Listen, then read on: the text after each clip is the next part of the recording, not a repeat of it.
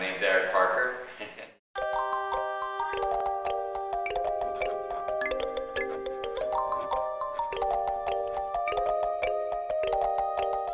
my background, well, I was raised in Texas, and I came to New York in 1996 after school, and then went to school here again uh, to get my master's,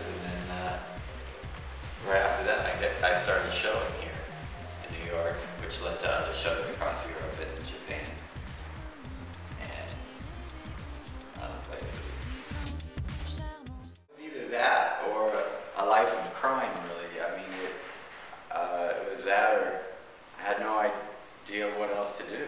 I mean, everything else just utterly bored me. I like the idea of representing the real space. I'm interested in, at one point, things appearing to be real and then negating that at the same time and kind of taking away from that and reference maybe a kind of pop language or cartoon language mixed with the surreal language and then the actual kind of real, uh, you know, spatial language of how we actually see things.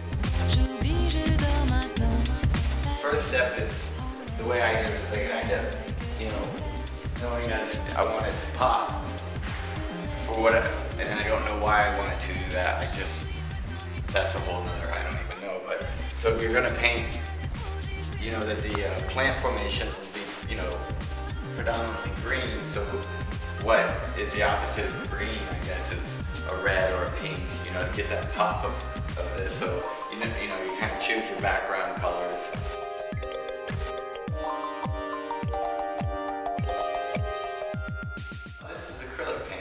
Some gouache for detail. Okay. Because I like the matte. Okay. quality, The matte finish to it. For the most part, I use a golden brand acrylic. So I think usually in terms of shows or bodies of work and how to, to fill a room, you know, with just to, you know, to make, make a knockout show and, uh, and then just kind of take it from there. I mean, there's no, I don't really have a vision of what the end results will look like so much. It's funny, I, I pretty much listen to every, a lot of stuff across the board. Um, I like heavy, heavy stuff. Um, and I play records, you know, vinyl, mainly when I'm detailing a painting because you have to flip the record.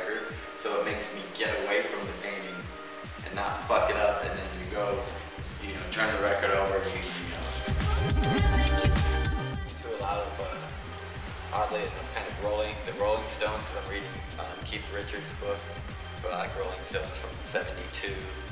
Um, you know, he did, just got a, a different, figured out a different way of tuning his guitar, which I was thinking like, that's a lot like, oh, I used, you know, how an artist can kind of play the same thing, like paint, but I'm tuning it a bit different, you know, and, and the results that can come out of that are, are something you know, often completely inspired by music.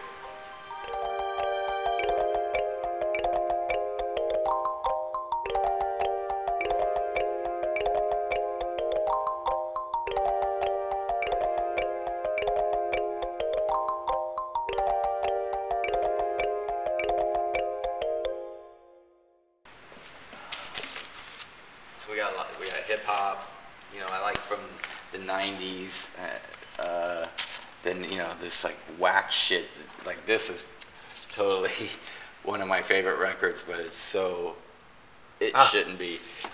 Um, to African, to punk rock, to kind of weird pressings of stuff, um, space rock, uh, everything, man.